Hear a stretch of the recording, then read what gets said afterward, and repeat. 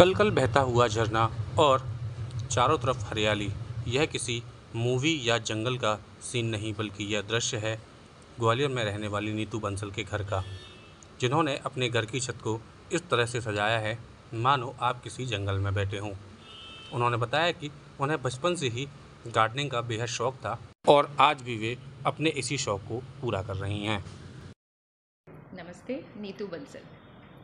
मैं गार्डनिंग का थोड़ा शौक़ रखती हूँ, इसलिए अब आजकल मैंने थोड़ा इसको प्रोफेशनली शुरू करने का प्रयास किया है तो एक छोटे छोटे ट्रे गार्डन्स नॉर्मल मतलब शौक़ के तौर पे बना के गिफ्ट भी करती हूँ सेल भी करने लगी हूँ आजकल। गार्डनिंग का शौक़ तो मुझे बचपन से ही था, लेकिन शादी के बाद वो थोड़ा कम हो गया था। बच्चे छोटे थे, अब बच्चे बड़े हो गए हैं, सब बाहर पढ़ रहे हैं तो मैंने उसको फिर से डेवलप किया। अब जब पहले मैं ट्रे गार्डन बोनजाई ये नहीं बनाती थी, लेकिन अब पिछले दस साल से मैंने ये सब बनाना भी शुरू किया है।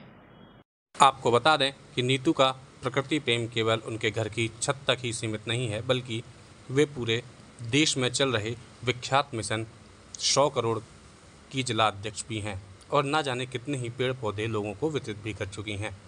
अभी भी वे अपने यहाँ पर सौ से अधिक प्रजातियों के पौधे लगाए हुए हैं, जिनमें कई विदेशी प्रजाति के हैं तो कई सीजनल वेजिटेबल्स और फ्रूट्स के भी हैं।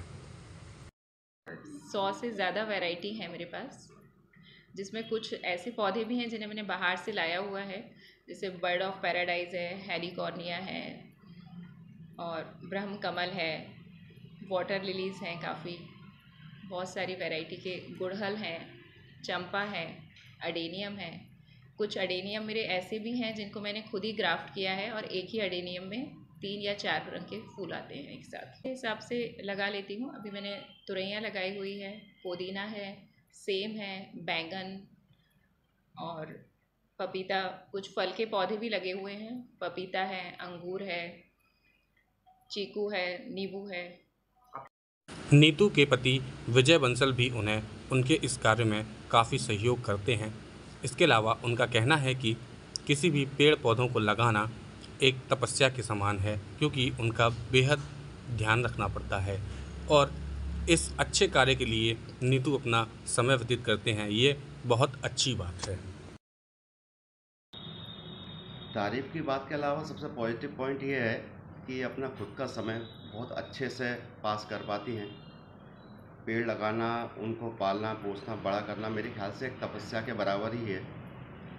पेड़ों को बड़े होते देखना, उससे खुशी लेना तो ये खुद के लिए भी अच्छा है और प्रकृति के लिए तो अच्छा है ही है।